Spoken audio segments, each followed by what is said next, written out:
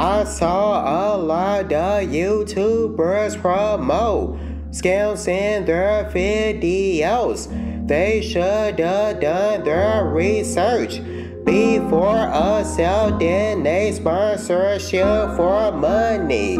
They were wrong for being ignorant because they persuaded their fans to sign a up, which led to them getting scammed. If they're not financial experts, they definitely shouldn't have promoted the business. You shouldn't always take advice from financial YouTubers like Graham Stephan. Don't invest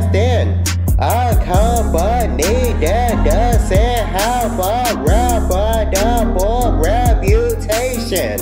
If the company declines that investment can backfire, I won't put my money in an unreliable fintech company like Yotta. My account would get frozen. I don't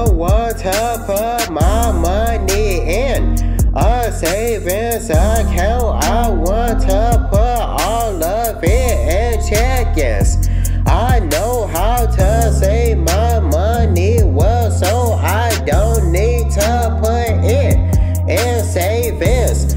I used to waste a lot of money, but now I spend my money wisely.